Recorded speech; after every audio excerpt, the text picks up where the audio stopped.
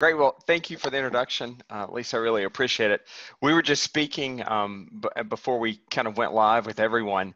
Uh, if the event had been live this year and we had been in Konnarock getting ready to journey up to White Top Mountain, uh, today would have been interesting, actually. Um, this, I'm trying to think, my wife and I were talking last night. I think this would have, uh, we were trying to get the total, but I believe my first rally was in 1998 and it actually um, snowed on us that night and uh, I think this this probably though is is the coldest temperature that I that I can remember, which would have made a salamander hike a little challenge, not impossible, uh, as we'll see, but for a few species, there's no way we would have seen them. So um, in the past several years were incredible.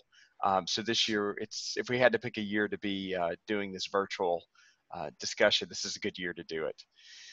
So I'm going, uh, I'm going to share my screen with you and along the way, I will be asking for you to jump in and participate and comment. And, um, you know, if you're able, I'm not sure, Lisa, if they're able to actually speak to me, but if not, you can chat in with some possible answers to yes, something. Yes, uh, I'm sorry I didn't clarify that. And Kevin, can you turn your volume up, your speaker volume up a little bit? I'm at 100%. Am I not coming in good? Okay. Yes. Uh, yes, I think so. I can hear you pretty, I can hear you a little bit better. Are you Um, sure? Okay. But, but yes, everybody, please feel free to chat. And there's also a question and answer um, blo- block there that you can also ask questions through there. So we, I will try to intercept and help you um, with questions along the way. If we need to interject, and we'll go that, go that route. Okay, perfect. Great. All right, so let's go. Uh, let me share my screen with you.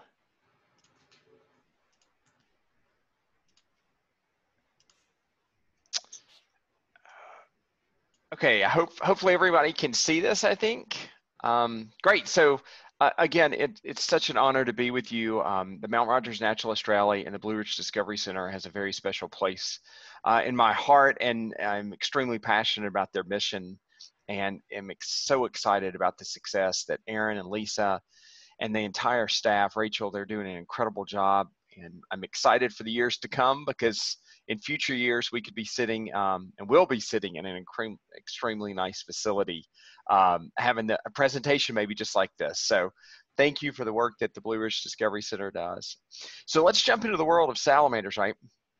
So the question is, how do you now? How can we do this? And uh, hopefully not make it uh, feel like you're in class, but at the same time make it feel fun. And maybe you come out of it at the end of the day feeling like you learned a few things. So if we go back in and say, all right, what was an amphibian?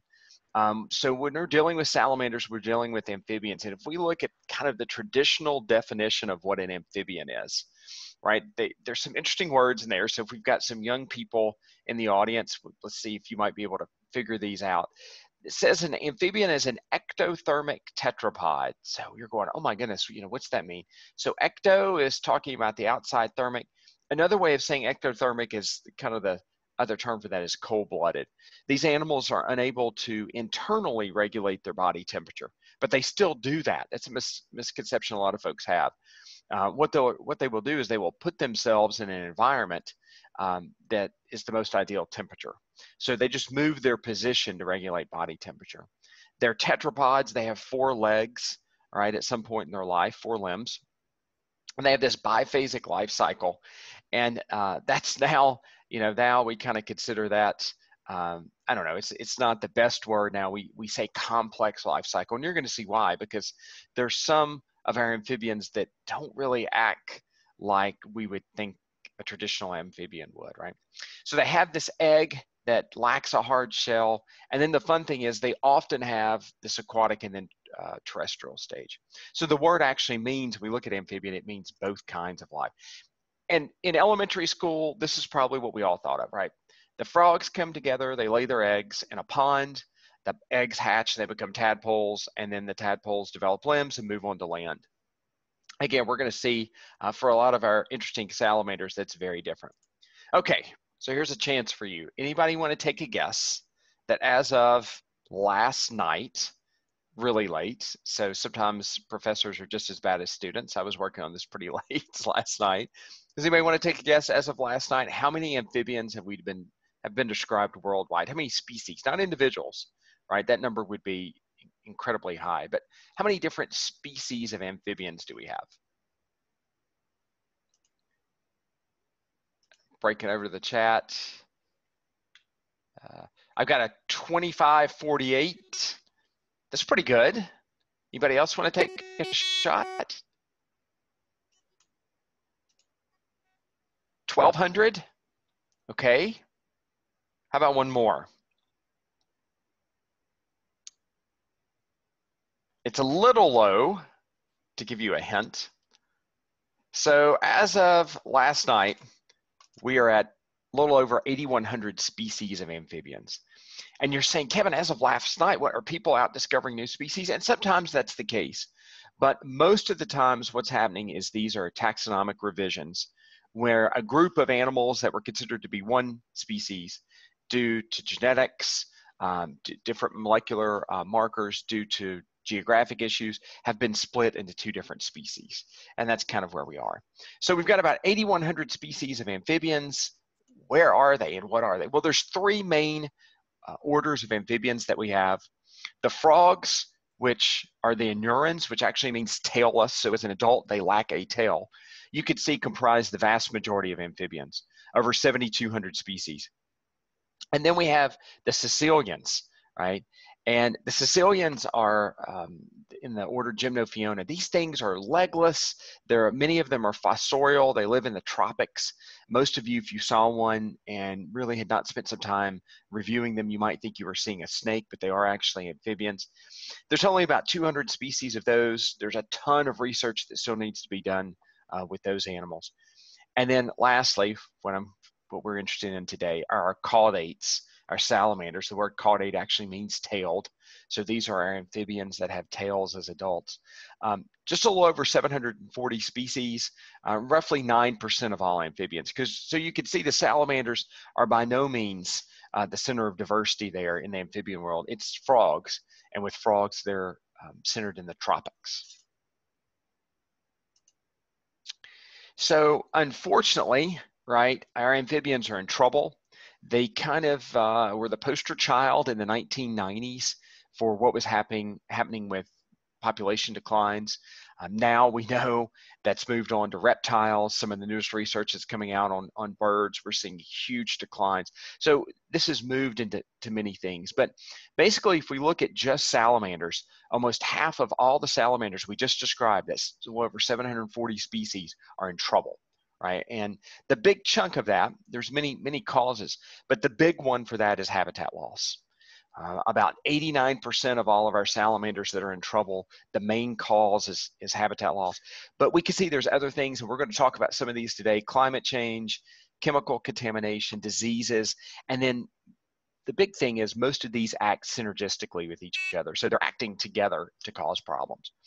In fact, many have said that we're in the, our sixth mass extinction uh, with that's that's occurred on the planet with salamanders kind of leading uh, and amphibians leading the way there. Again, many other things have jumped in uh, to take kind of take that place too, but we're losing animals pretty quickly.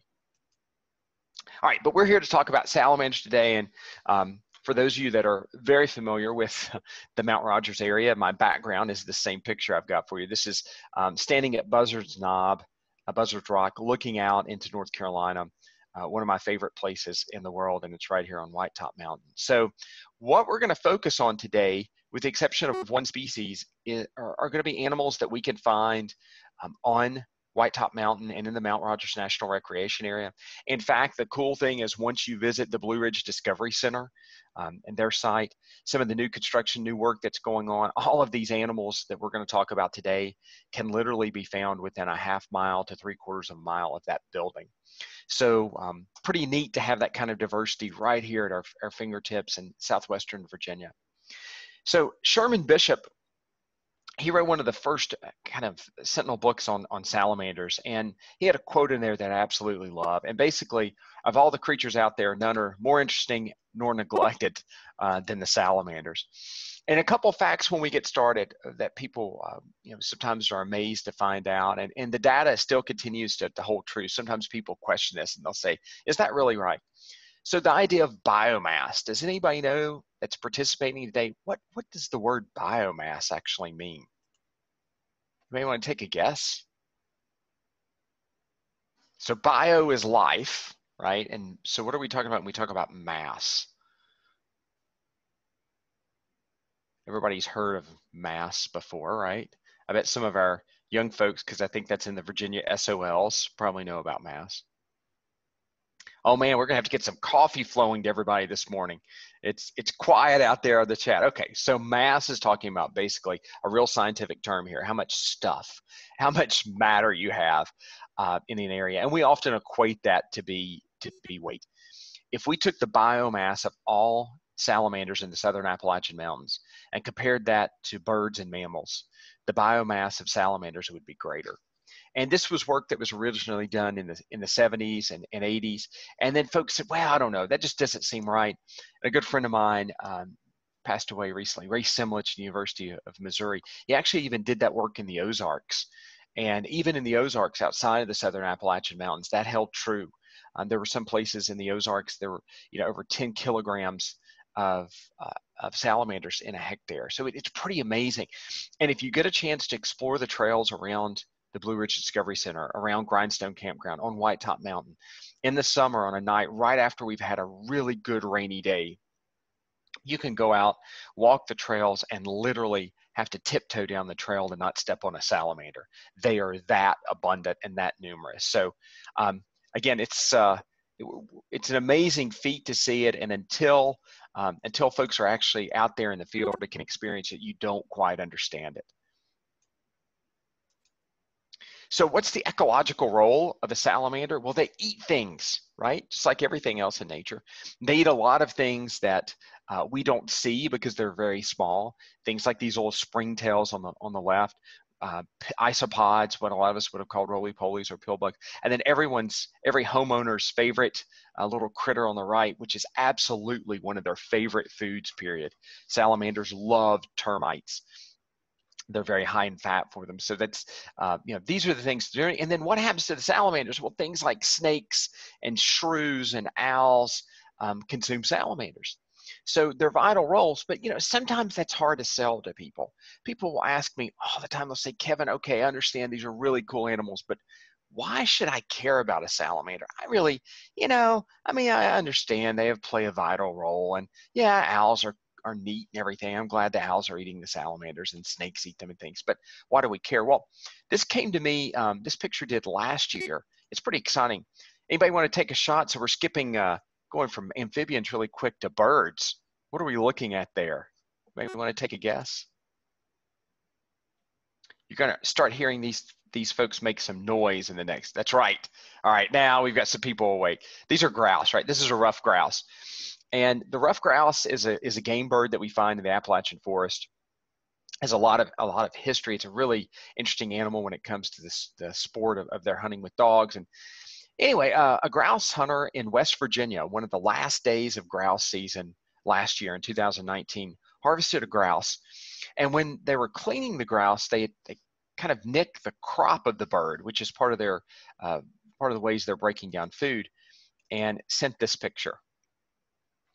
Folks, those are many. We've we've tried to get a count, and it's hard. But I, I think there's maybe 14 every time I recount this, I get a different number, but there's about 14 redback salamanders inside that ruffed grouse.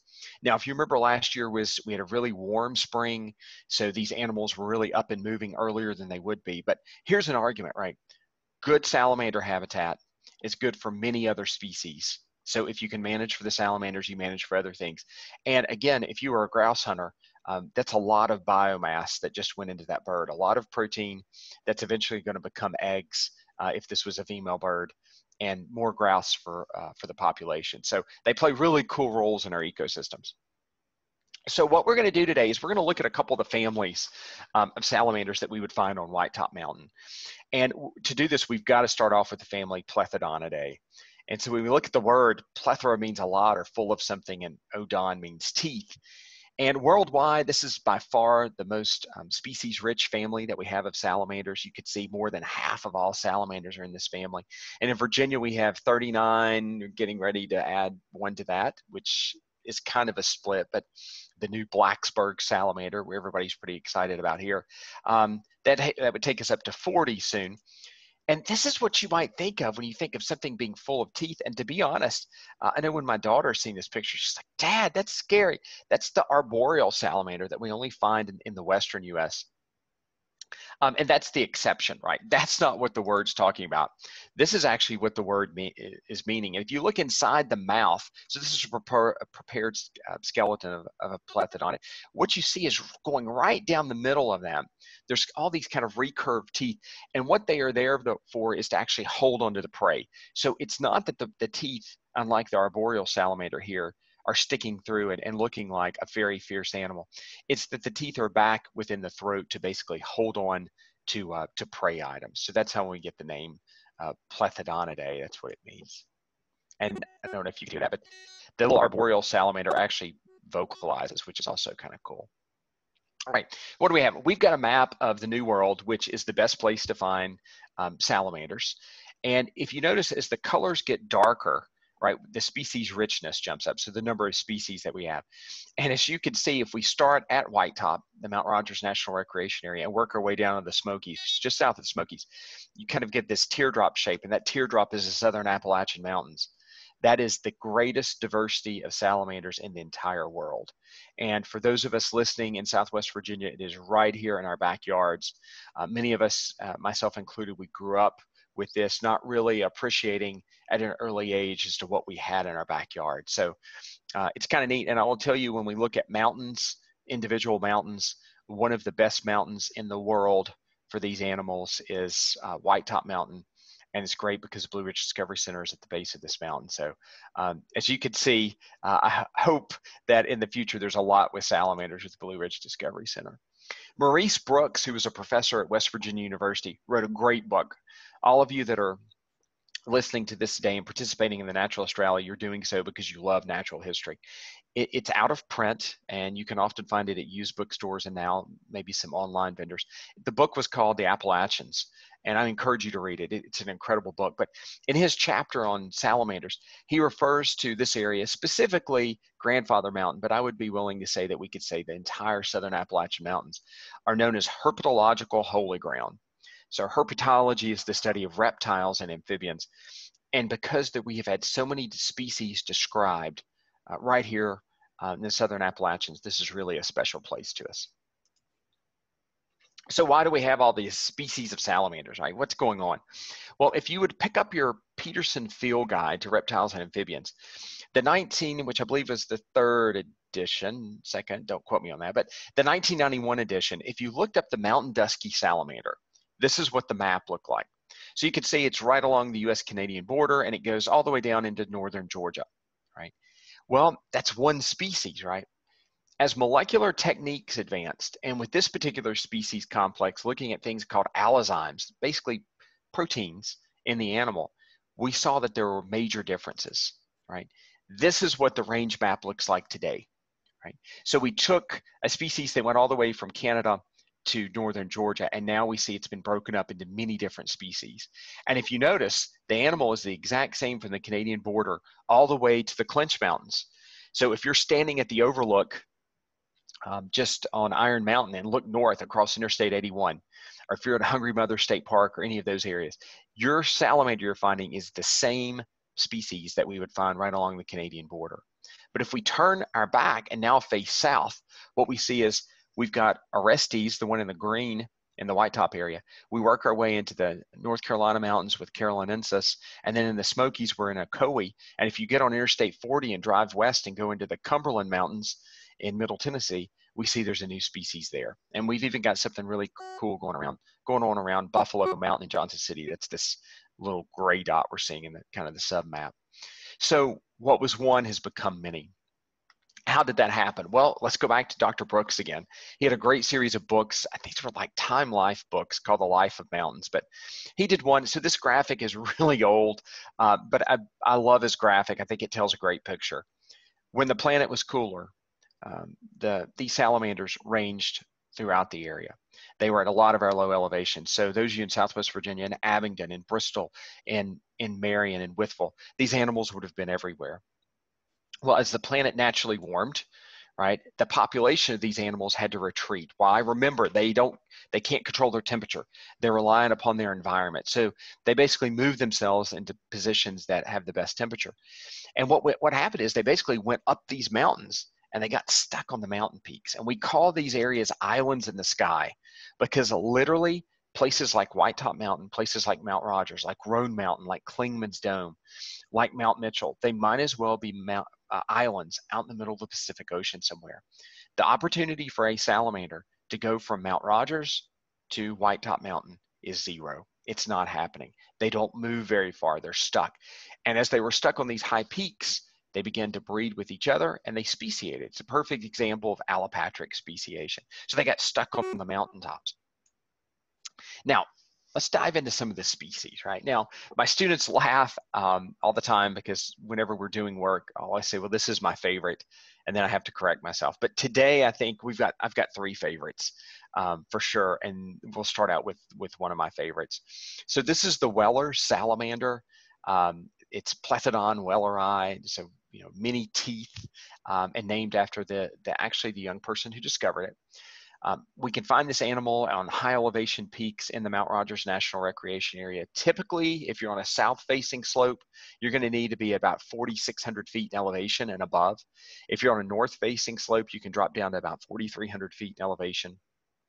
It's temperature difference there. Um, it's a beautiful small salamander, black body with this kind of goldish, uh, bronzy coloration on it. Again, one of my absolute favorites.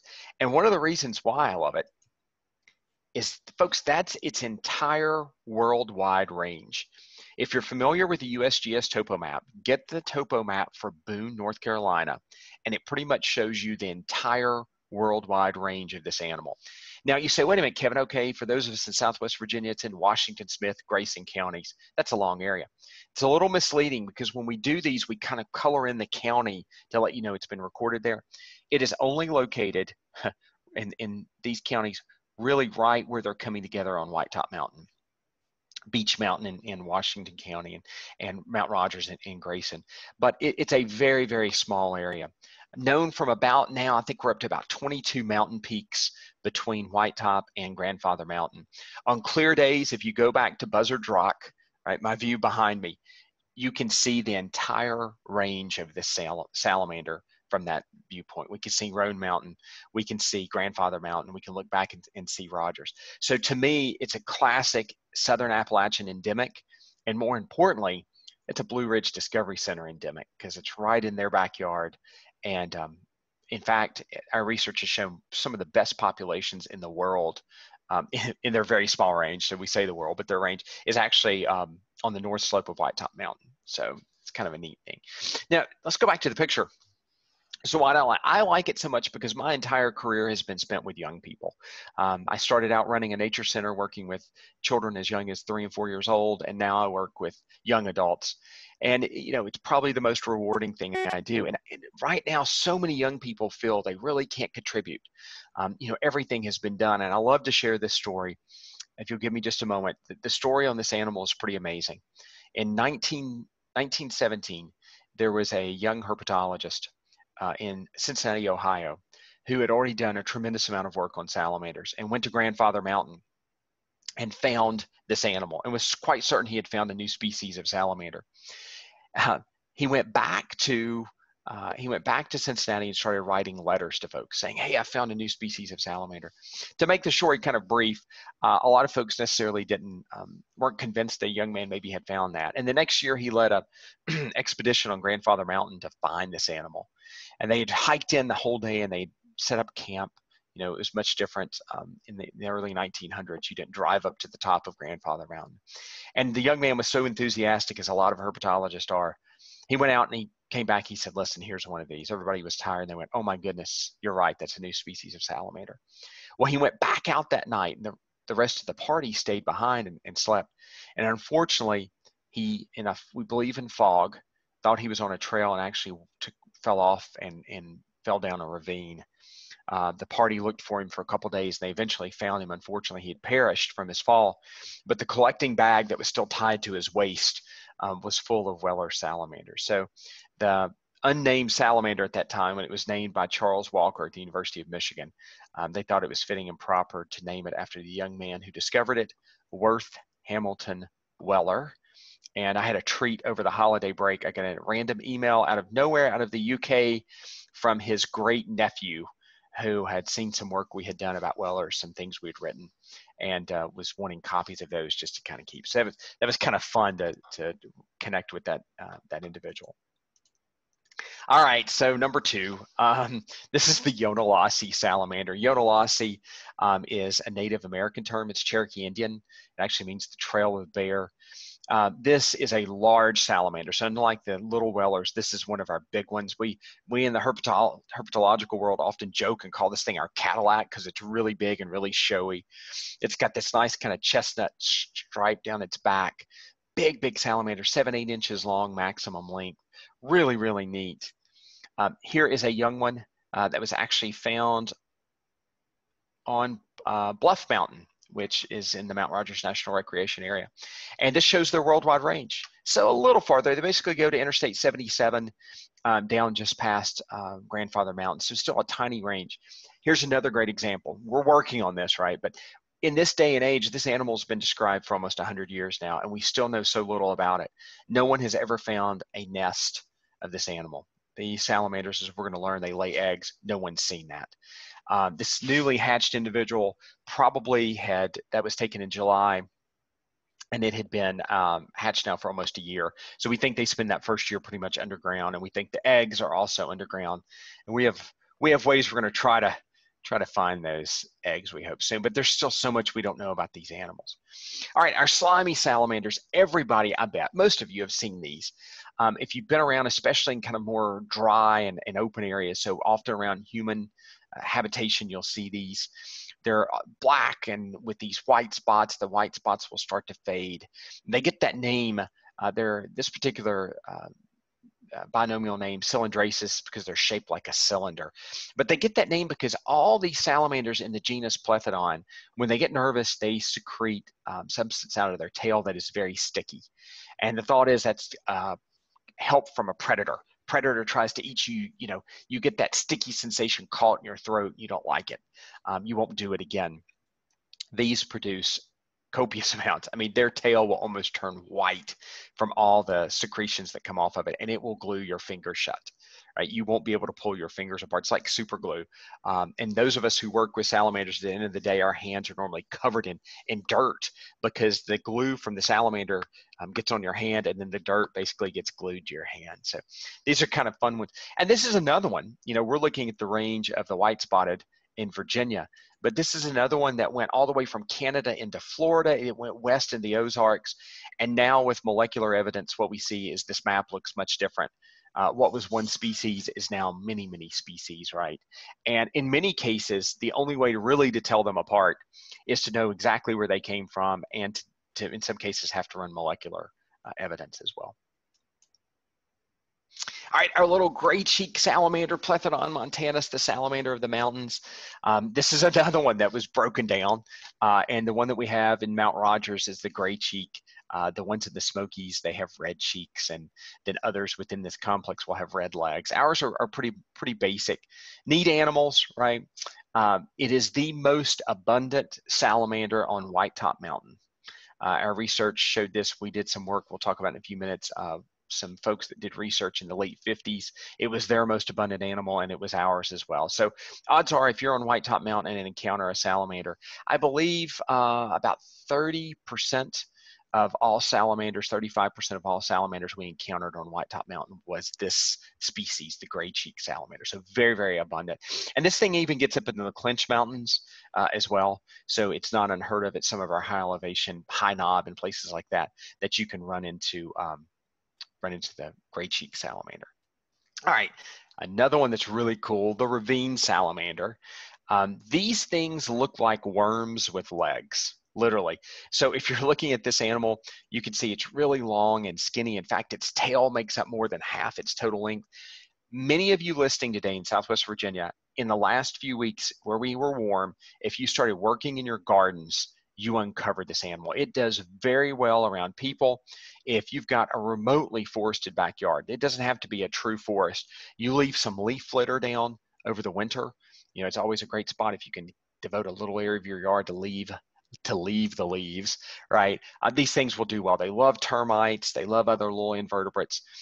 It's again, it's it's its back looks like it's just been kind of oversprayed with some gold spray paint, really small dots. Um, neat animals. Uh, here's another one. We know very little about um, their reproduction, very little about their um, egg laying and, and, where their nest locations are. And they're right here in many of our backyards.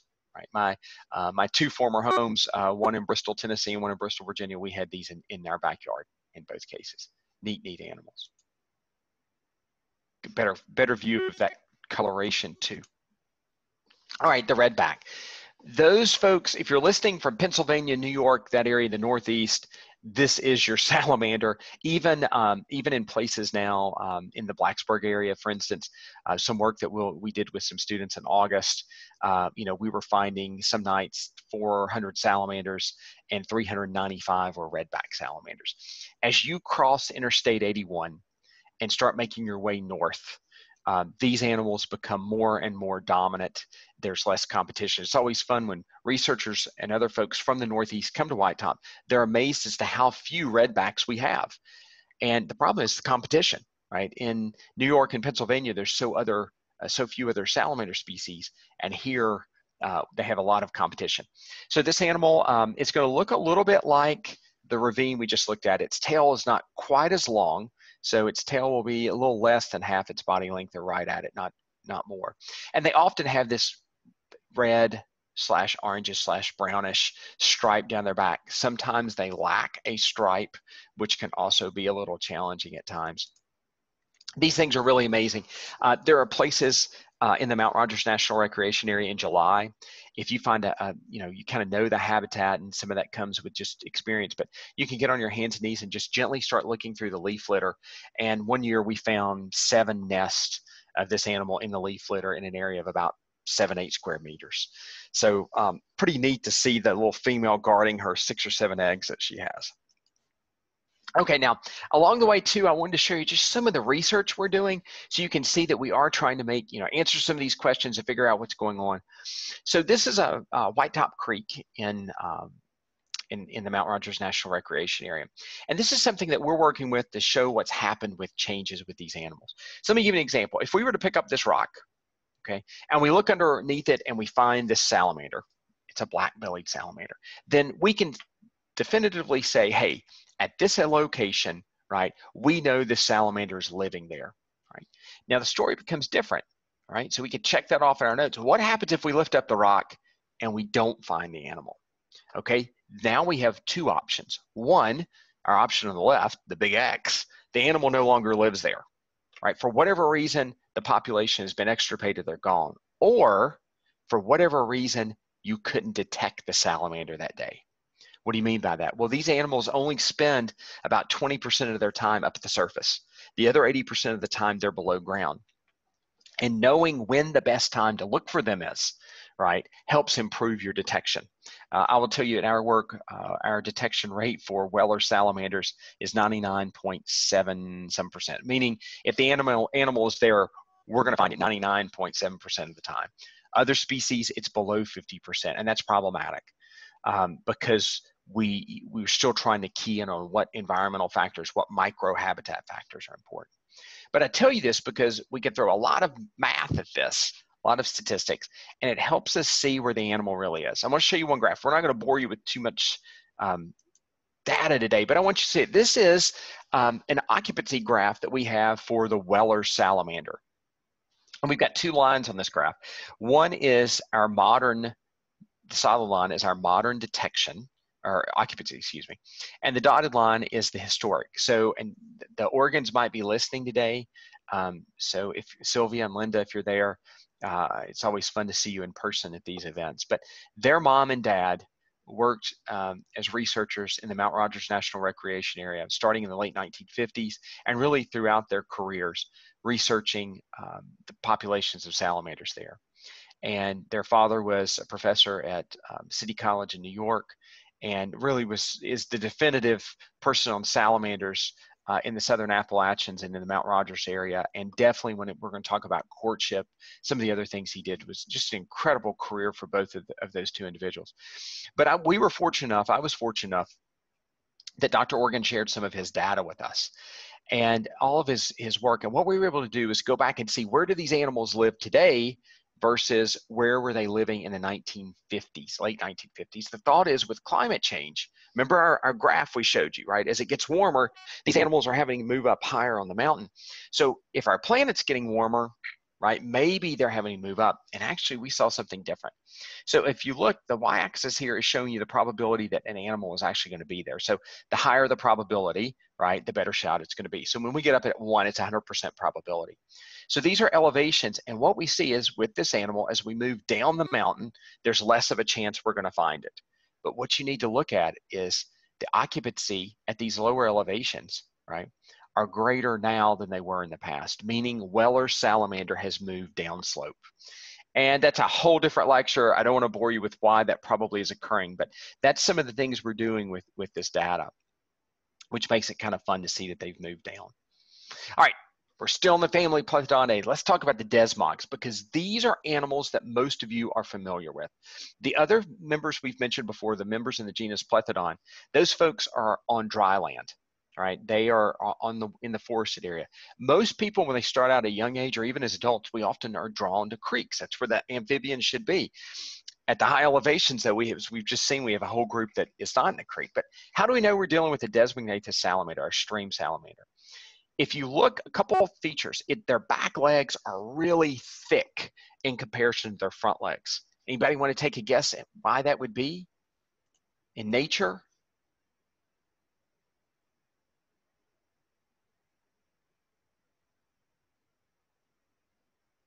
Anybody want to guess in nature, what do you think happens when animals have really big, thick back legs in comparison? That's right. So somebody said jumping. Thanks, Nicole. Yes, they're jumpers. So when you're trying to catch these things, one of the frustrating things is they're hard to catch in creeks, right? And then when you finally get one, you're doing this juggling act with it because it keeps jumping out of your hands. The other thing you want to look at is just below its eye, there's going to be a stripe going from the eye back to the beginning of the jaw. Those are the two key characteristics. Now, a lot of folks love birds. I enjoy birds as well. We can equate these to our warblers. In the fish world, we'll equate these to darters, meaning there's a lot of diversity and they are very hard to initially tell apart. Do not get frustrated. There are some individuals even today that I will see and I'm still go, oh boy, it's some of them are able to hybridize, but it's tough. So we're going to talk about some of the characteristics to help you. But for the most part, we're going to be thinking about creeks. So I'll go back to work again that uh, Nelson Hairston did and, Jim Organ and his wife Della did. Uh, there's some interesting things when we look. This is White Top Creek uh, as we're coming off White Top Mountain. So we're at about uh, about 3,500 feet here, 3,400 feet. Uh, we're on private property at this point. Great landowners that let us on their property. We see this nice transition transition of our designated salamanders from those that live right along the edge and in the stream to those that are kind of up in the rocky areas just above the water to those are at the land's edge to those that never get near the water. And if you're looking at the animals, there's something that's going to help you identify them along the way. Look at the shape of their tail. The animals that are more aquatic have a very keeled tail. We say it's knife edge. It's almost like you were looking down at a knife blade, that kind of image you would see. Why? It's for swimming. It gives them the better ability to swim. As I move on to land more, my tail becomes round. The thought there, it's for balance, right? So these, these actually become really good climbers.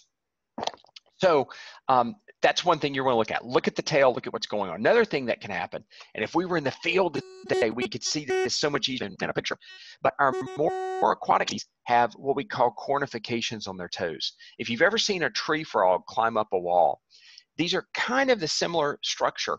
They're almost like a callus that's on the bottom of their, of their toes, and it allows them to grip onto rocks better in high flowing water.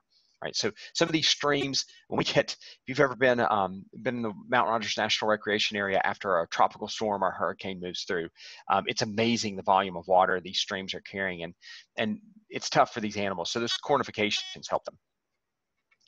So our first one, this is our stream salamander, or excuse me, shovel-nosed salamander. Um, so Desmognathus is actually talking about the ligaments in their jaw. And one thing that's neat, uh, we think everything works like our jaw, right? And you don't ever want to take a um, a salamander, right, and really try to force its mouth open because the ligaments on a desmog work different than the ligaments on our in our jaw structure. So uh, you know that's something to think about. Sometimes you'll see people trying to trying to do that. Look at the very limited range. I, would argue that this is the most imperiled salamander in the Mount Rogers National Recreation Area.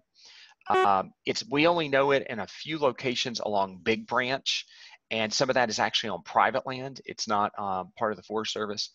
This is an animal that could benefit greatly from some stream conservation work, and really we need to know more about it. Um, it's it's hard to really identify it. And here's the problem: that animal looks very much like a black bellied salamander that we're going to get to next. The only way to definitively tell them apart is you have to look in their mouths. And again, you want to be careful. You don't want to rip, you know, pull their jaw apart. The nares, their nostrils, open into their mouth. And on the black belly on our left, they're circles. And on the shovel nose on our right, they're little tiny slits. That's hard. I don't recommend you doing that in the field. But I will tell you, if you go back and look, the area of, of stream on Big Branch where we know we have shovel nose, one time we went in and said, okay, uh, let's see how good we are. So we collected several of these and broke them up into two groups. These are shovel-nosed salamanders and these are black-bellieds. All of our black-bellieds we identified correctly. On our shovel nose, half of what we were calling shovel nose were actually black-bellieds. So a lot of people on things like sorry, things like iNaturalist, right? Um, it's great, and I'm I'm so glad you guys are participating. But you will see mistakes made frequently in identification, even people that that verify it and they're still verifying the wrong thing.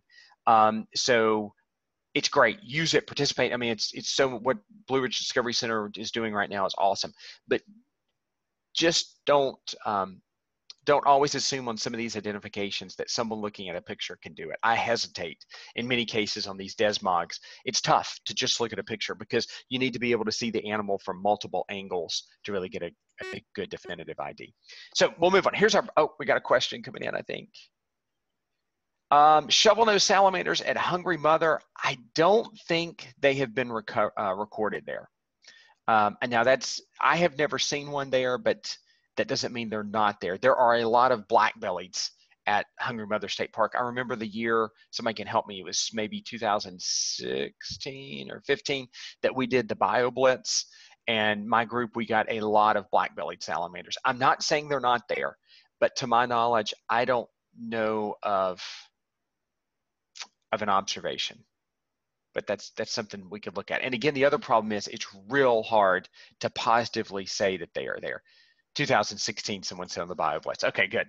All right, so here's our black belly. So the shovel nose is strictly in the creeks, right? They really don't come out of the creek beds much. And the black bellies will hang in the creeks. If the shovel nose aren't there, they move more towards the middle of the stream. If the shovel nose are there, they'll kind of push towards the outside. These are fierce predators.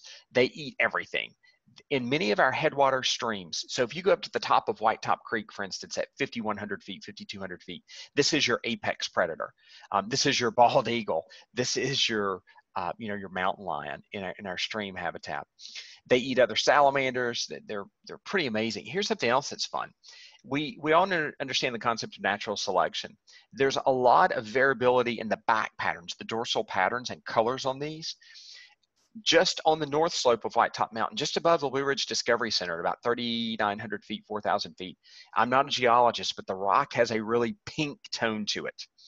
You will find a population of black bellies there that have pinks within their back. And that that is sure they have been selected because they blend in better with the rocks. And it's their camouflage is amazing. For, so some of you that are out there trying to find these, you might look for one and it kind of gets away from you and it is right in front of you and they blend in incredibly well. The name quadrimaculatus actually means they have four rows of spots. So on each side of their body, they have two rows of white spots going down. And as their name implies, they have a black belly. The shovel nose we just looked at, they typically are gray. Here's one problem though in all of our desmogs. as they get older, especially old males, they all get black, black bellies. They get really dark. So gets a little harder. But the key with this one is its tail is keeled the whole length. It's knife edged. All right, again, just to show you real quick some of the fun stuff we're doing with these animals. So they're apex predators, right? White Top Mountain is extremely wet. This is looking at the north slope of White Top Mountain. It gets about 150 centimeters of precip a year. It gets another 50 centimeters of water that's just condensing from the clouds, so not as true precipitation. And some work that went on in the late 80s um, through the EPA found that a lot of the stuff coming on the mountain was bad. It was very low pH. Uh, it had a lot of pollution that was coming out of the out of basically the Ohio region, Ohio Kentucky border, uh, with a lot of their fossil fuels um, that were being burned. So we thought, wow, you know, those same uh, pollutants that are coming down could also be carrying mercury. That's very common when you're burning um, coal, for instance. So we wanted to compare the mercury levels in our black-bellied salamanders with other places where we know people have looked at amphibians. Just to kind of show you really quick and what's what's interesting is a couple spots in uh, with redback salamanders which are more terrestrial and we have a contaminated stream in virginia where there was an industrial not soluble but another industrial location where mercury was discharged into a stream. And there the salamanders averaged about 200 nanograms per gram. On white top our average was about 130 but if we just looked at the north slope which is what catches all that pollution out of ohio it was almost 200 right? So almost equivalent to what we're seeing in, at point source pollutions. So if we look at this as far as consumption levels, we don't have a lot to go on, but in the Everglades, this frog it just appeared, this is the pig frog. And there they, they looked at wet, wet weight of mercury. We did ours in dry weight. And then another location, this is the American bullfrog in a place called Caddo Lake, Texas. This is a spot where uh, in World War II, the Army uh, was doing some testing and, and released a lot of mercury into the ecosystem. We can see kind of the average liver samples there. If we look at the liver samples on White Top Mountain, what we see is our, our average is more than double what it is in some of these very highly polluted areas. By the way, both in the Everglades there and in Caddo Lake, Texas, there are fish or excuse me, in this case, frog consumption advisories. People cannot eat the frogs because the levels of mercury are so high. What that means is the amount of mercury we think that's being distributed, uh, deposited on white top from pollution, based on what we're seeing in these salamanders. Uh, if there was a season, you couldn't eat them, right? They they would they're too too toxic. Okay, the seal salamanders. Here's one of our desmogs. Notice it's going all the way from the Gulf of Mexico all the way up into, into uh, Pennsylvania. This is one uh, we should find throughout southwestern Virginia. It has a keeled tail, but only the last two thirds. The first third of its tail is still very, very round. So what we're seeing again is this transition. The shovel nose and the black bellies are in the water. This guy's moving moving out away from the, the center of the stream some. Their spots on their back look broken. It looks like you were trying to draw a circle on their back and you were hitting bumps and had to lift your pen off off the back. That's a great way um, to identify them. Again, they prefer to have their feet wet basically, so they're kind of right at the edges of streams. They're also in seepage areas. That's a common uh, common spot for them. All right, our northern dusky, this animal goes again from the Canadian border into Canada all the way into the Carolinas and Tennessee. There it's replaced because this thing has been split into a couple different species as we work our way into the Smokies. It's very, very common. This thing has a triangle shaped tail. So when you're looking down on it, it's kind of got a point, but it's not a knife edge. This comes with practice. This is this is really hard to do, but specifically this particular one we're very very interested in this animal and uh, i hope to have time uh, to really dive into this more. This comes from white top creek and there's a specific area on white top creek where we find uh, these salamanders and they are bright yellow. Now in many cases they are, uh, their bellies are yellow but this one is bright yellow throughout. That's not a, a you know it's not me enhancing the color um, we think uh, there could be something going on because there's a population at high elevations and then there's no animals and then there's a population at low elevations. Um, with some genetic work, this potentially, uh, who knows, but this might be might be something different. All right, so we're almost done with, with our desmogs, I promise. Hang with us there. So this is our Blue Ridge Dusky Salamander, um, Desmognathus orestes. This is the one that used to go from Georgia to Canada that's been broken up into, into many species. And uh, this is the one that we have right here in White Top Mountain. If you have parked at Elk Garden and walked down the trail just near the uh, area where they collect maple syrup, that is the type locality for the salamander. What does that mean when you say type locality? That means that's where the specimen was collected um, by Steve Tilley and Jim Organ to be described as, as a new species. So um, it's kind of neat that it's it's got its origins right here in, uh, on White Top Mountain, but very, very common. This is the second most abundant salamander species on White Top Mountain, only um, second to the gray cheek. All right, so I haven't told you, I've only told you two of my three favorites, right? So this is number three. Um, this is the northern pygmy salamander, Desmognathus organi. You're thinking, wow, wait a minute, I've heard that name. You have. The salamander is named after after Jim Organ, who again spent his his whole career really studying salamanders on, on White Top Mountain. So for that, it's always been special to me. And they're just cool, cool animals. Very small, um, as, as the name implies. As adults, they're, they're tiny. Uh, you will see in the map, though, where they, they've been broken up. The southern population is in the Smokies and in western North Carolina. They're, um, they're much smaller than ours. So our pygmies are larger than their pygmies. But how do you identify it? They have this really cool herringbone pattern down their back. We can flip them over and you can look in between their front limbs. You can actually see the pericardium surrounding the heart. It's metallic, it's silver. You can see it through the skin, so it's kind of neat. You can actually watch their little amphibian heart doing doing their job. Um, this animal in certain locations can be very abundant at certain times of the year. Other times of the year, if you go to the same location, you might not find any. So uh, that's kind of a, a, tough one. They are totally terrestrial. They, uh, they have the round tail. They will come to seep areas to spend the winters, but their big fear are those black-bellied salamanders. On rainy nights, the black-bellied salamanders leave the creeks and they walk along the edges of the forest. And these things, to get away from them, they escape, they climb up trees. So on a rainy night, you could easily see um, pygmy salamanders six, seven feet up in the trees trying to get rid of, rid of the, uh, or get away from the black bellies because the black bellies would eat them. And again, I could talk all day because this, this animal is, is super fun and, um, but a couple neat observations. Listen, when you're in the woods, you always want to be uh, aware of your surroundings, right? Because we do we do live in bear country. They're pretty well harmless, but you don't want to make some mistakes. And on White Top Mountain, I remember seeing a very fresh pile of, of bear scap and thinking, oh man, what you know, what are we looking at here? And when you look into it, does anybody see it? We zoom in. There was a pygmy salamander that had walked its way into bear scat. And I sat there and watched it for many minutes. It was actually sitting there eating the insects uh, and invertebrates that were coming to the scat. So it was pretty amazing. You never know what you're going to see in the, in the world. So always keep your eyes open. All right, a couple more. Our northern red salamander.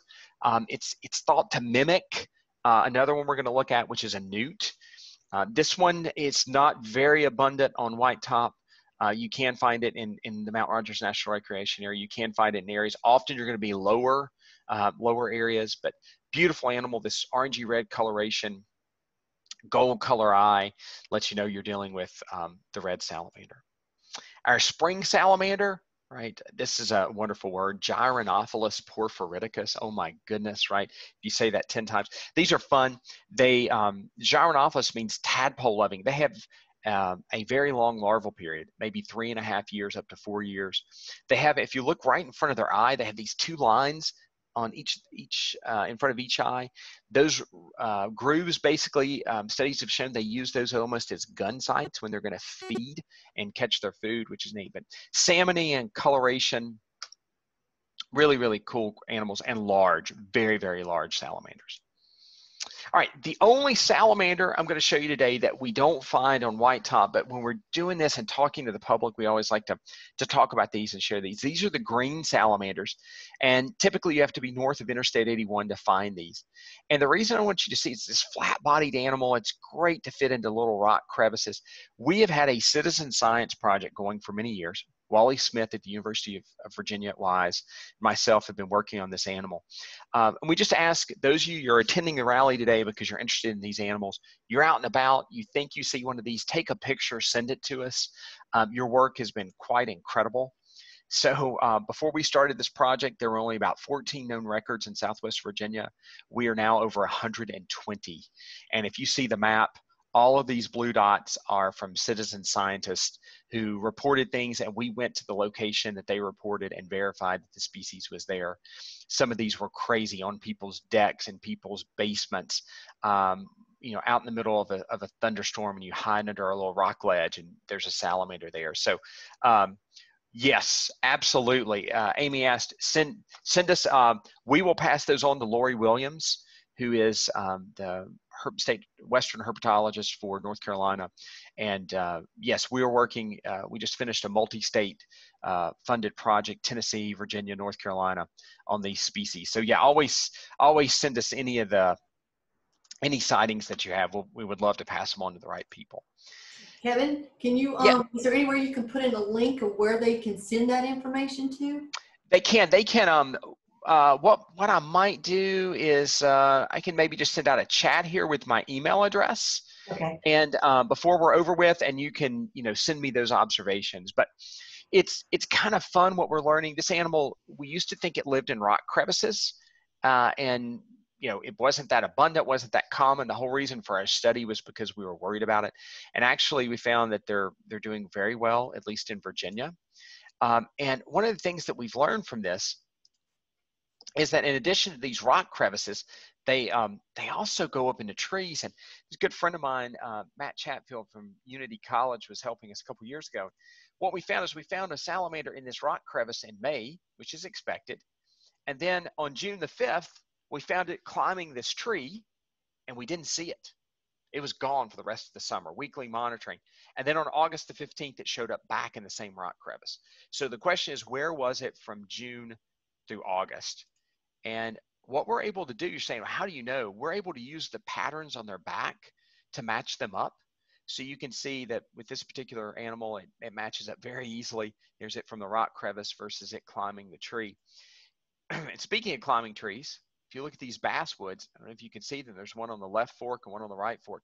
We are finding these things more and more in trees. We're discovering that they um, go up in the summers, and as long as conditions stay well, they even come down and uh, late fall. One of the things we've started doing is using trail cameras. Now they don't trigger a camera. What we do is we have a camera take a picture once a minute, and it takes a lot of hours by students, myself, going through these these pictures. I want you to look at this tree on the right. So we have two large trees. The large tree on the right, look near the upper top of it. I'm going to start a little animation. you can see their eyes glow at night. You can watch this green salamander coming down the tree. So I'll go ahead and start it. See those eyes glowing? And it's moving down the tree. Show it one more time. So we've learned a lot about why they're using trees. So definitely, if you're finding these, send us information. If you're finding them in the trees, send us that. That's really cool. So kind of wrapping up our family of, of our lungless salamanders. So all the salamanders we've spoken about so far, they lack lungs, the plethodontids. They're breathing through their skin. They're exchanging gas through their skin. And that's pretty cool. It also makes them susceptible to really dry conditions. That's why they're up in the mountains. That's why they're in the creeks. They need this.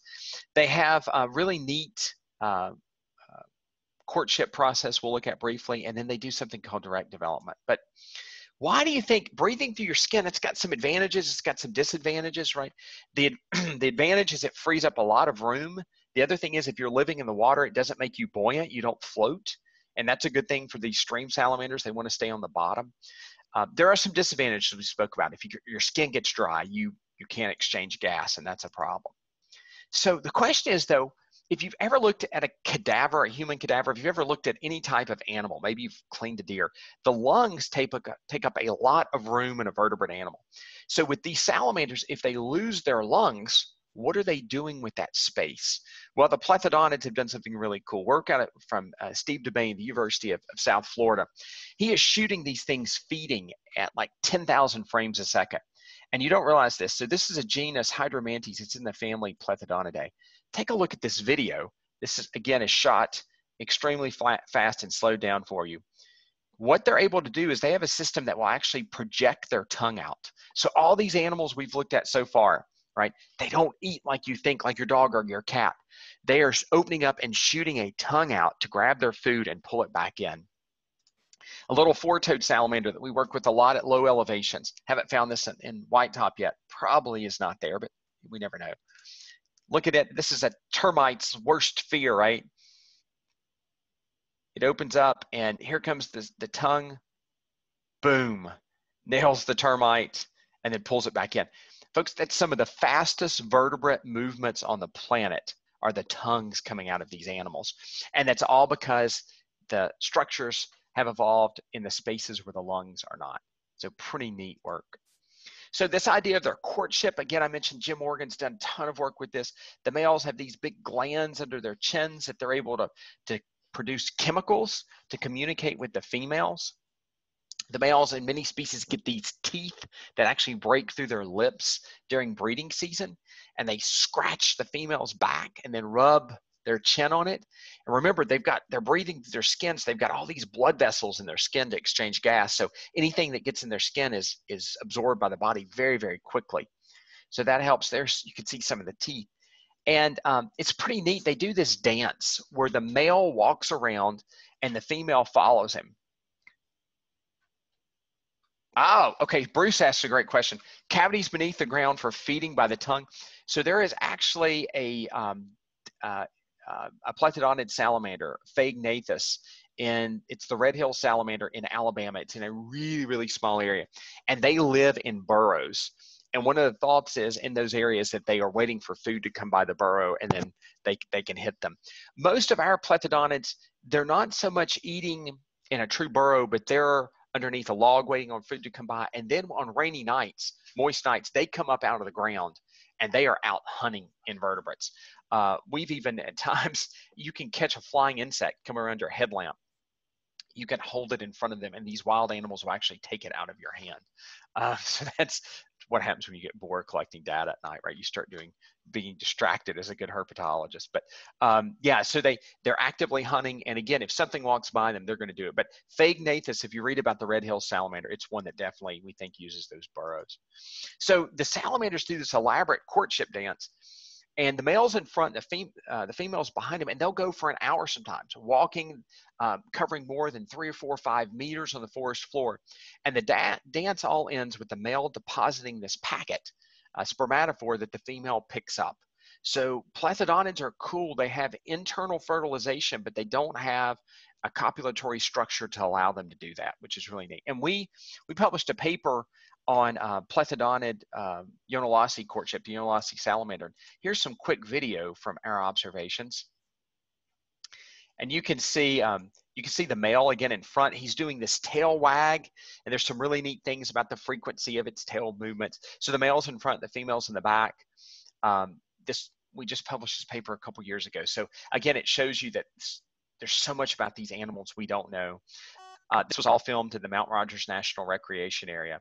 But uh, what's going to happen, for time's sake, we can speed this up a little bit, is the male starts walking forward and he's going to dep- deposit the little spermatophore, and then um, the female is going to pick that up. So really neat work that goes into their courtship. That's a whole area of, of research uh, really for people to, uh, to take a look at. Another thing, they're direct developers. Well, here's a little redback salamander guarding her clutch of about six eggs. What do you mean by that? Unlike a traditional amphibian that hatches and has gills, right? When these things hatch, they look just like their parent. Uh, they are they are direct developing. So um, there is no direct. So with the genitalia, the male and female cloacal regions can swell um, when they're in breeding season.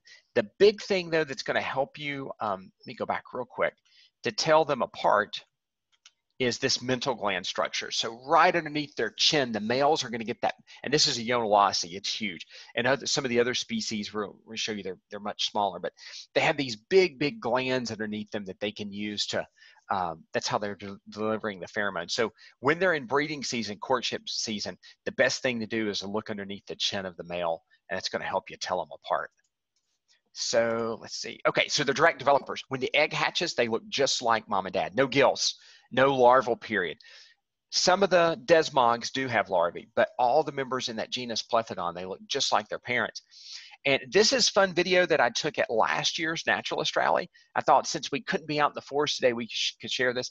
We happened to discover, I was just going through some leaf litter with participants, um, a uh, organi nest. So these were very young uh, Desmognathus organi pygmy salamanders. And you're gonna need to look right at my fingertips, but you can see them you can see how small they are. That egg has just hatched not long ago, and it looks just like its parent.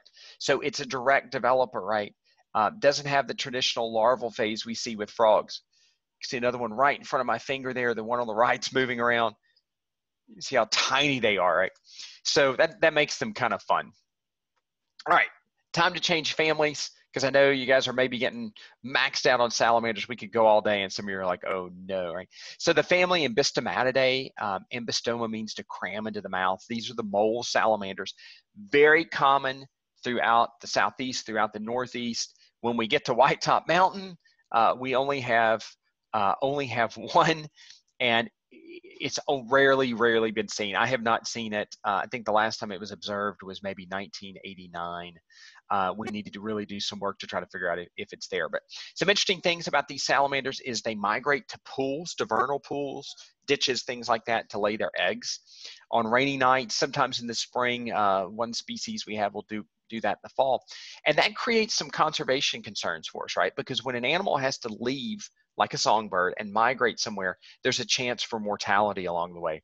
And the big thing we worry about these with these animals is they get hit by cars on their way to breed. So some pretty fun work we've done with the Tennessee Valley Authority at a, low elevation site we have in Northeast Tennessee. We actually, um, two summers ago, constructed a tunnel for them to go underneath the roads so they're not hit by cars. So they hit this concrete wall. They can't climb it, so instead they're directed to go underneath uh, this particular passage. And again, here's some quick video that just shows one of our first females of the breeding season, of the spotted salamander going uh, going underneath our tunnel. So we were, we were quite excited about that. So here's our spotted. Uh, if you see one of these on White Top or at the foot of White Top, take a picture of it.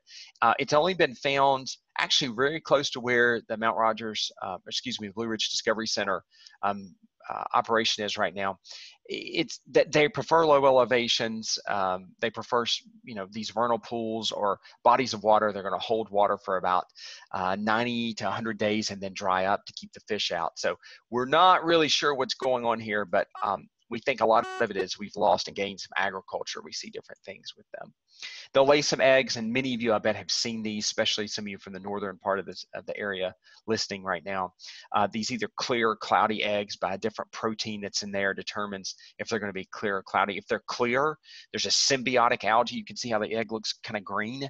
That algae is providing oxygen to the developing embryo, and um, and then um, the algae benefits from the nitrogen from the embryo. So one of the fun things we do though is we stick little pit tags in these animals. It's the same thing you put in dogs and cats so we can scan them to see their unique ID number. We can also follow them around to the ground, but I want to show you this. This was a female we had tagged in 2009.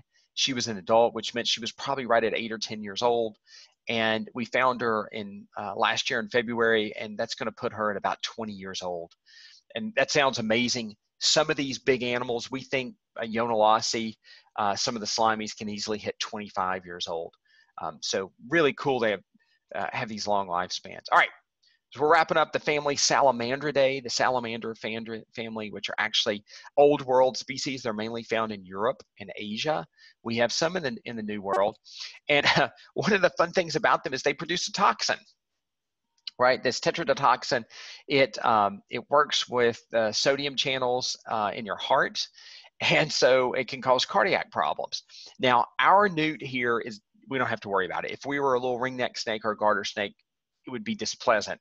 As we move out into the west, though, the rough skin newt causes some pretty major problems to the snakes there and can also cause problems to humans.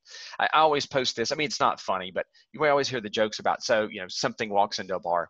Well, this actually came from the uh, Journal of the American Medical Association. There was a case in Oregon where someone actually was drinking in a bar and someone walked in and challenged them. They dared them to eat a newt, a rough skin newt, for whatever reason, and they did and went into cardiac arrest later from it. Other, uh, other examples, more recent examples, unfortunately, um, some young high school students that were camping after graduation, and uh, at some point, someone thought it would be cool to try to eat this newt, and when they did, uh, they went into cardiac arrest now. So ours in the east, we don't have that to worry about, right? Um, go all day. Uh, maybe let's see. I don't know. We could tell if people we start getting a lot of people going nuts we'll, might have to slow down. All right, so here's our, our rough skin, or excuse me, our eastern newt, the red spotted newt. If you remember when I started early on, I said we, we we're trying to get away from that word biphasic life cycle. And the newts are great example as to why we don't do that. So you notice there's two different animals here, right? No, actually, it's the same animal. It's just two different phases of its life. Newts start out in the water. When their eggs hatch, they have gills, just like a, a tadpole. And they stay in the water feeding and growing. When they morph onto land, they morph into what we call this eft stage. Their skin is very dry. These animals, along with the ambystomatids we just looked at, the spotteds, they have lungs, right? So they don't need that moist skin to exchange gas, right? Uh, yeah, I'm with you, Bruce. Don't don't eat any newt, right? Yeah, I, reckon don't eat any. Of it, whether it's the mercury in the black-bellied salamanders, the toxin in the newts, don't eat our salamanders, right? Um, so they they move on to land and they're in this dry phase and they can actually disperse several kilometers. They uh, you'll see them out in the middle of the day when it's dry so they, they do really well. And this is the phase where they're we think they're the most toxic right? Because they're out on land uh, the chance to run into potential predators. Then they have another metamorphosis that occurs and it puts them in their adult phase. And notice the tail difference. And as an adult this bottom image their tail has become much much more keeled.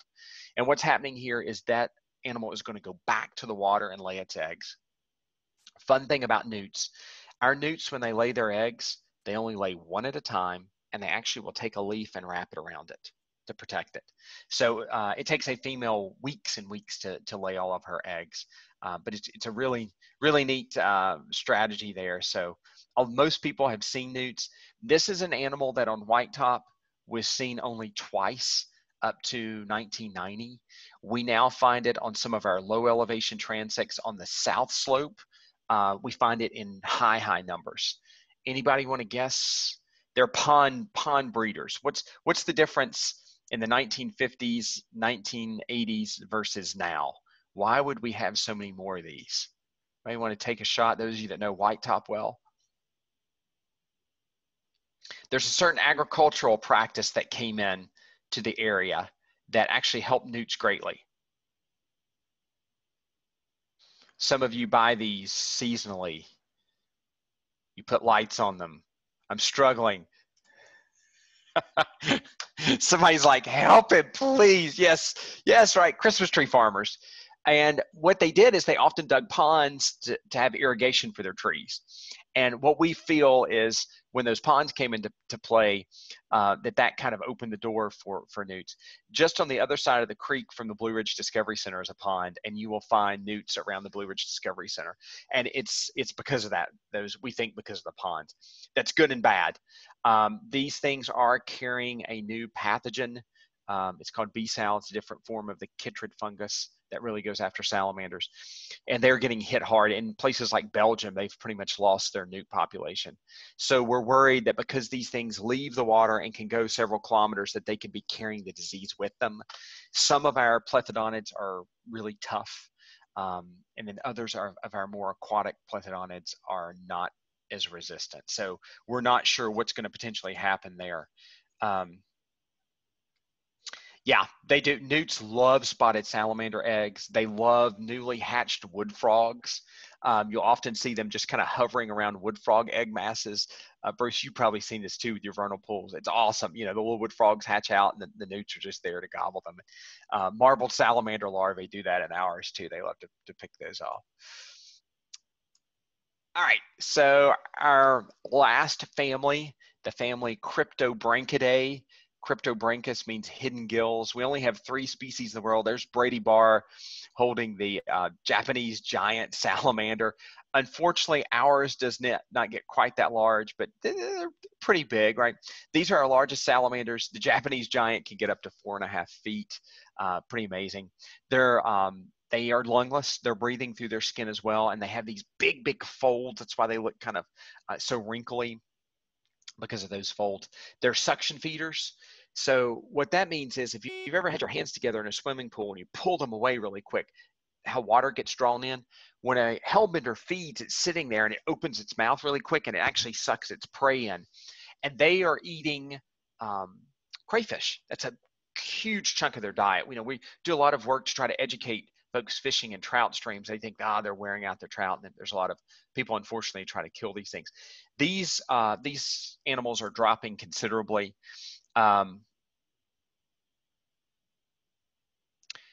Okay, so uh, somebody just asked a, a, a, good question. Sorry, these are coming in about newts. So if they're in their uh, kind of adult color and their skin is drying up, is this transitional? So if the adults, once you go into the adult phase, you're going to be in that adult phase. Um, and what happens, we see this in our own vernal pools, is they start to dry up. They will leave that vernal pool and try to go find another vernal pool in that adult phase still. They can't disperse quite as well, but and you'll also you'll see them moving on the landscape in their adult phase too. Um, sometimes good distances, but the big dispersal phase is when they're in that eft form. So we're worried about hellbenders. They are a candidate species to be listed right now as either threatened or endangered. Uh, their numbers are dropping greatly. And most of that, unfortunately, comes back to us. Um, and part of that is it's our behavior towards them and our water quality issues. This is a former student of mine, and uh, we were doing some work, and it, the joy in her face, I absolutely love it because uh, when you catch a hellbender and you see a hellbender, there's you can't describe it, right? They are just incredibly cool creatures uh, to see. They lay their eggs under big flat rocks, and the male actually is the one that guards the eggs. One of the problems is those rocks will silt in, and so it, it, they lose their nesting habitat. Well, we know the success of bluebird boxes. When starlings uh, outcompeted bluebirds for cavities, people began building bluebird boxes and help bring them back. At Virginia Tech, Dr. Bill Hopkins is doing some great work building concrete nesting boxes. They basically mimic being under a flat rock that they're putting in streams in southwestern Virginia, and these are working incredibly well. Um, the salamanders are using them, they're having really good success with them. So if you're ever out in one of our streams, you see this really weird kind of P shaped um, structure made on concrete. That's a hellbender nesting box. So please, you know, don't disturb those. But um, it's it's pretty neat. And who knows, once uh, COVID is over, maybe uh, we can get Dr. Hopkins to come down one year for the Naturalist Rally and take folks out to see those because they are they're pretty neat to see. So we mentioned their range map. Um, you can see this is the range map. There was a population in the Ozarks, the Ozark Hellbender. It's pretty much gone now.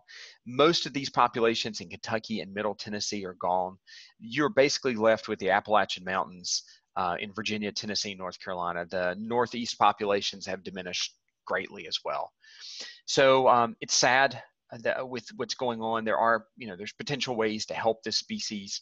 Uh, I can tell you some, you know, there's there, the success that's happening right now in Southwest Virginia with these nesting boxes is really, really cool. So um, there is hope, but all, you know, always be alert. And if you ever hook one with with a fishing line, you know, there's ways. The Department of Game Inland Fisheries actually has these really cool things for hellbenders to help you get the hooks out of their mouth.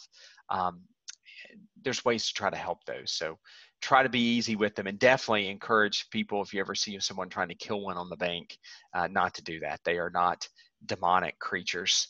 Uh, they're just really wrinkly, kind of old grumpy people. And these things we think can live to be maybe 50 years old potentially. Well, um, so yeah, this is kind of one of my fun Yonahlossee days that, uh, that, that you normally won't find that many in that that small of an area. But uh, I wish uh, as I'm sure all of you do, that we could have been live today and on the mountain. Uh, once we, you know, once we put COVID behind us at some point, um, who knows? We, there's a fall rally that that maybe will occur, and um, and hopefully with the Blue Ridge Discovery Center, we can even be doing some individual salamander programs and hikes even away from the Naturalist Rally at some point.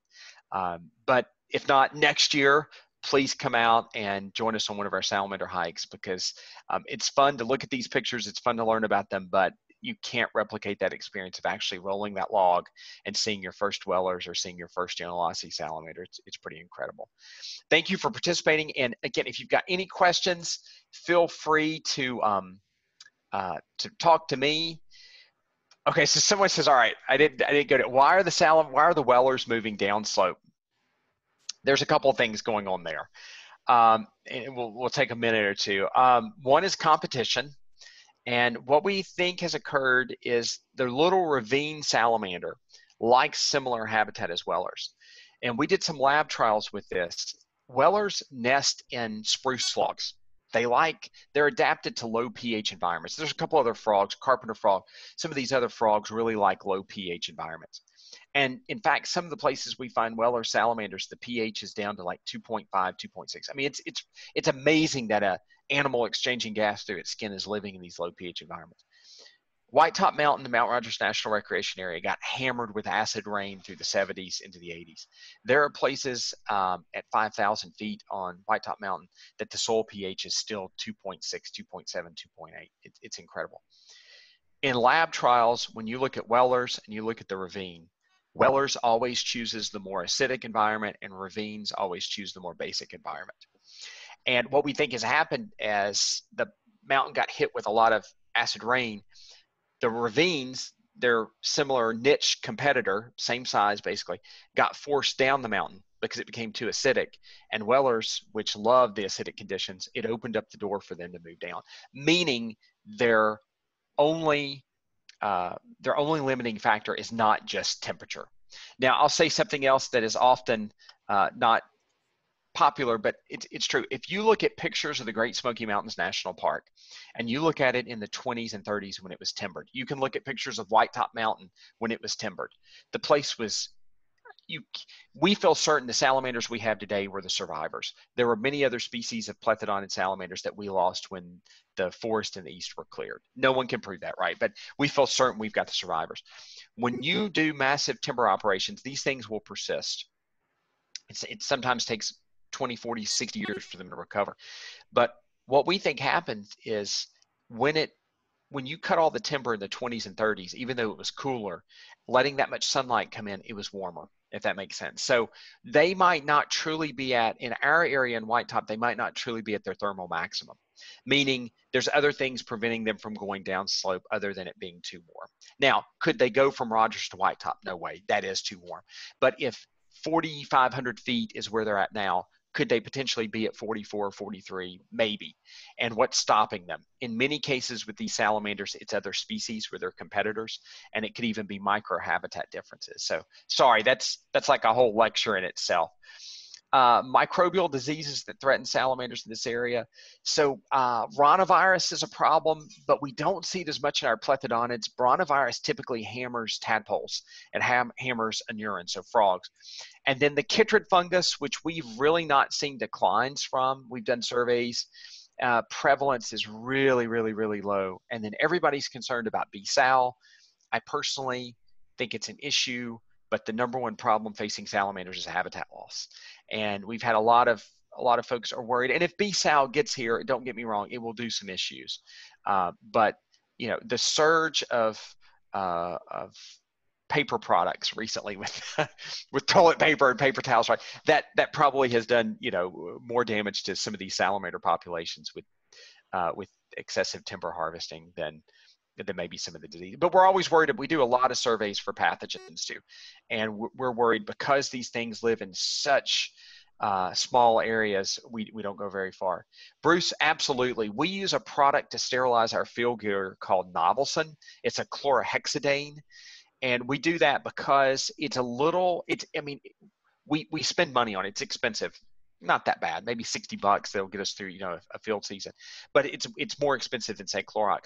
The beauty of chlorhexidine though is you can spray down your gear. It'll inactivate chytrid, ranavirus, B-sal. Uh, but in five, six minutes, it's pretty much inert once it's dried. One of the problems with Clorox uh, and some of the other things is it can still be a little toxic. So, but absolutely, you should always, always, always um, disinfect your field gear. Um, that is, we know in South America, the majority of the chytrid fungus, the way it moved was on researchers. Researchers were moving it from location to location, so that's a problem. Um, oh, wow, can we identify salamanders by their eggs? So the members of the genus Plethodon were pretty good because they're, they're going to be all about the same. The desmogs, we're going to be able to tell you it's a desmognathus. Um, the ambystomatids are, are somewhat easier to tell apart with the eggs. So I guess to answer your question, sometimes yes and sometimes no. Um, it's harder. The good thing is with the plethodontids, the female is almost always going to be there guarding the eggs. So if you find eggs, look around in that immediate area and you're probably going to find the female too, which is helpful. see, any other questions? Oh, that's great. Love the questions coming in. So you know get out and explore i will tell you um, check out the department of game and inland fisheries website their new um, salamanders of virginia book just came active about three weeks ago i guess it's finally out um, take a look at it they did uh, J.D. Kleopfer, the state herpetologist, Joe Mitchell, who unfortunately just passed away last year. Oh, we got him. There's some pictures. Yep. That is that is exceptional. I thought I would show everybody and let you know that um, these are two sources we use, and we just got our copy of this, so it's great. One of the challenges with salamanders is Lisa's holding up a couple books. The one on her left is exceptionally well done, Salamanders of um, Southeast by uh, by Whit Gibbons and Joe Mitchell. One of the problems is that our taxonomy is changing, and um, it, it's it's rapidly hard to keep. Every time a book comes out, uh, the state herpetologist was talking to me. He was upset because you know the new Blacksburg salamander did not make it in in the new book. Um, so it's uh, it's hard to keep up on the taxonomy, but they're great references. And the, the absolute sentinel book is uh, James James Petranka's um, Salamander of North America. That's another great one um, to have. So they're out there. It's hard. It's frustrating. Uh, a little bit of practice with the desmogs will help you out leave a little area of leaves in your yard. Um, everybody loves to get up the leaves, and the best things you can do for salamanders is have an area where they've got leaf litter. That's where their food is. But get out and explore. And you know, again, the great thing is this: the Blue Ridge Discovery Center, literally looking out their back window, they are looking probably in my opinion, and some of the data shows that at one of the best places for salamanders in the world, if not the best, the top three in the world is right behind the Blue Ridge Discovery Center. So uh, it's a great opportunity. Come out in future events, explore with us, and um, I appreciate you attending today, and uh, I appreciate you supporting the Blue Ridge Discovery Center any way that you can. Um, again, Aaron and his staff, Lisa and Rachel, they've done some absolutely incredible things. And with our support, they're going to keep doing some really awesome things. And I've, you know, I get to see some of the plans. The plans are pretty amazing. So help them out the best that you can. And um, my email, which let's see if I can get this out to you, is um, let me go back and chat this out to folks. Yeah, I'd say that's probably the best spot to type it in. yeah, chat. let me. I'll put in my email for you. Um, it's just K Hamed uh, K for my first name, the Hamed, H-A-M-E-D, and it's at vt.edu. Please feel free to shoot me an email about, you know, we had to go, we covered a lot, went kind of fast. If you've got questions, shoot me an email. If you have an observation, love to have your data. And uh, especially, you know, green salamanders, or, or if you just find something in your backyard and you're like, I'm not sure what this is, feel free to shoot me an email and I'll be glad to, uh, to help you. Awesome. Thank you. Thank you for giving up your morning to learn about salamanders. All right. Thank you, Kevin. We really loved having you. Great. Thank you. Enjoy the rest of your day with the rally.